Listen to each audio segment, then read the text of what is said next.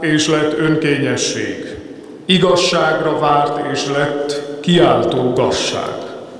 Jaj azoknak, akik azt mondják a rosszra, hogy jó, és a jóra azt, hogy rossz. Akik a sötétséget világosságnak, a világosságot pedig sötétségnek mondják. Akik azt állítják a keserűről, hogy édes. Az édesről pedig azt, hogy keserű. Emlékező gyülekezet, kedves barátaink, a felolvasott két igevers, egy hosszabb, egy 30 igeversből álló szakasz, két nagyon fontos mondata. Csepp a tengerből, két mondat, de micsoda két mondat?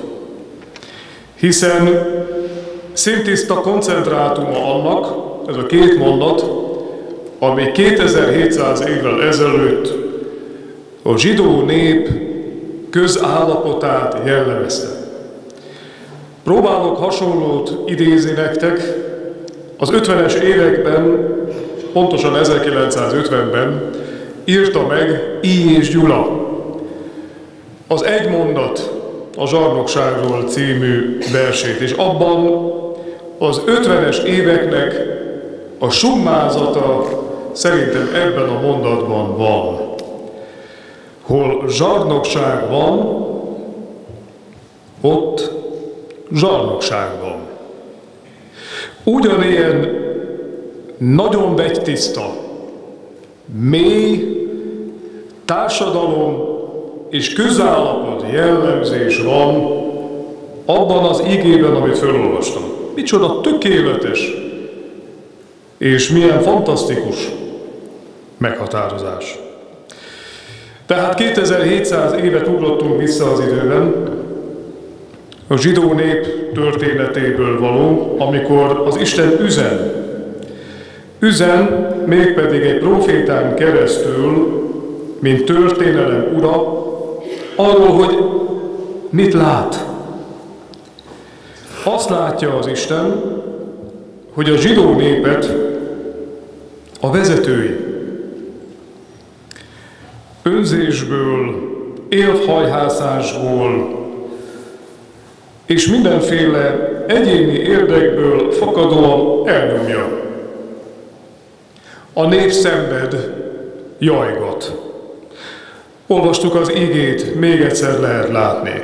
A nép törvényességet várt, önkényességet kapott.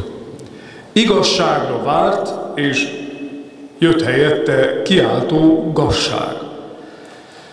Igazság helyett gasság. Egyetlen egy betű, egyetlen egy hang, de mecsoda különbség, hogy valahol igazság van, vagy gasság. Ezért Isten közbelép, üzen, mert ő a rend forrása. A teremtési rendet nem mondta föl. Üzen, és azt mondja, eddig a nép jajgatott, ha meg nem tértek, ti fogtok jajgatni. Üzent, de hiába. Be is következett majd néhány évtizeddel később a kataklizma, az összeomlás. 2700 évet ugrottunk vissza, most ugorjunk előre 1948-ig. 1948, mintha az ősi bibliai jelenet ismétlődne meg, szó szerint.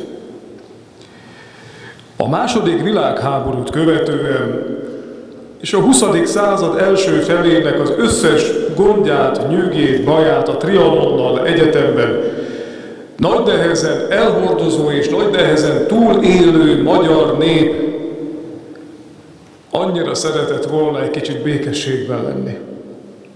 Annyira szeretett volna egy kis törvényességet, egy kis igazságot kapni. Hogy legyen lehetőség elsiratni a halottakat. Hogy legyen lehetőség az összeomlott, összerombolt országot megépíteni. De 1948 egy nyíltan istentelen, egy nyíltan embertelen vezetés karmai közé kerül a sokat szenvedett nép.